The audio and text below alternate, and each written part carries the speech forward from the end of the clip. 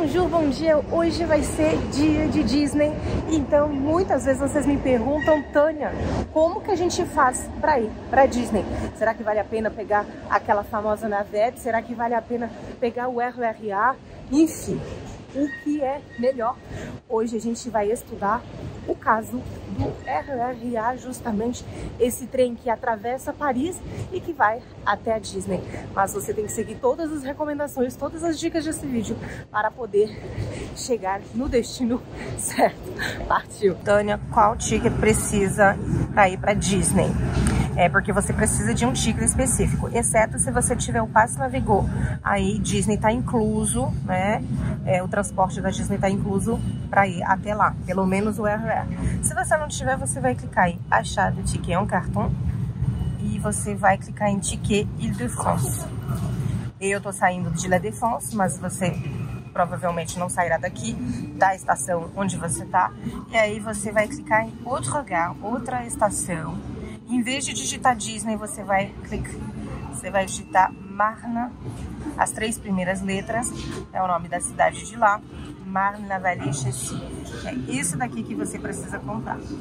Certo? Aí, em função da idade, se você estiver com criança de 4 a 10 anos, você clica aqui, senão tarifa cheia e você pode pegar e de volta, que custa 10 euros. E aí comprar. E, e aí você tem a possibilidade de comprar pelo cartão ou se não em dinheiro. Mas o problema é que aqui só aceita moedas.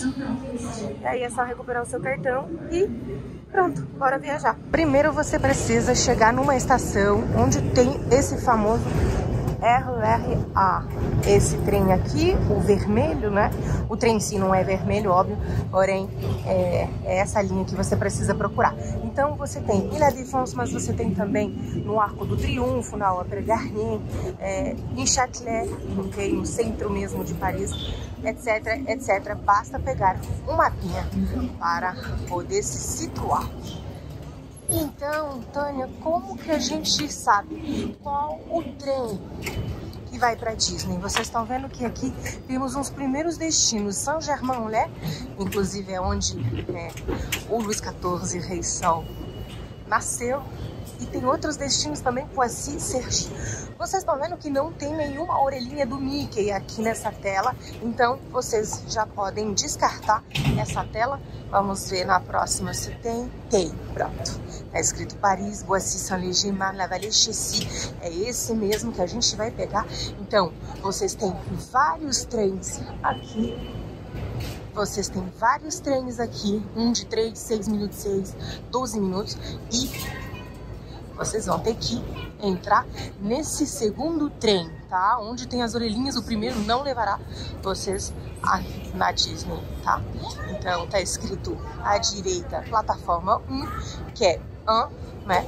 E é por aqui que a gente vai entrar. Eu tenho meu passe Navigou, então eu posso e abre as portas. Eu consigo ainda passar, apesar desse barrigão.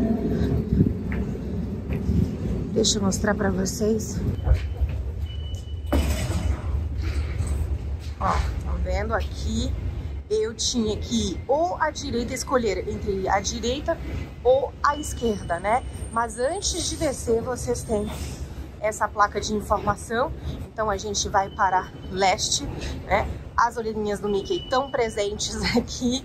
Então a gente vai ter que, estão vendo? Tem dois destinos finais. E é esse que a gente vai pegar partiu. Ficando mais uma vez para não errar, ó, aquele que tava pronto, acabou de sair e agora é sim o nosso Mar Navarriches.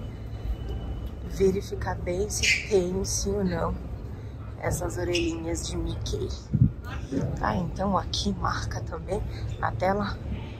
Não tem como vocês errarem, que o próximo três minutos vai ser realmente o próximo, porque ele tá aqui em primeiro. E o nome do trem, esse daqui é o Kiwi. e a última verificação é quando você tá dentro do trem, você precisa ver se nas telas é escrito mesmo, na Vale Chessi, a Crisnerol. Tânia, será que eu posso deixar de comprar os ingressos de última hora? Ó, tome bastante cuidado, porque ó, aqui acabei de chegar, né, tá escrito parque completo, exceto com bilhete com reserva, né? Sobretudo durante as férias escolares, né? Tem que tomar muito cuidado. Vamos entrar, passar pela segurança. Uma vez que você passou pelos detetores de metais, você tem duas escolhas ou estúdio ou o principal. O que que eu aconselho? Se você for ficar o dia inteiro, então eu aconselho você começar pelo estúdio e terminar no Disney geral, é, simplesmente porque tem os fogos à noite, né? Então, para não ficar e voltar e voltar, né? Porque realmente cansa, é, é bastante grande. Então, hum, obviamente que nada a ver com Orlando, mas mesmo assim cansa, né? Sobretudo com criança.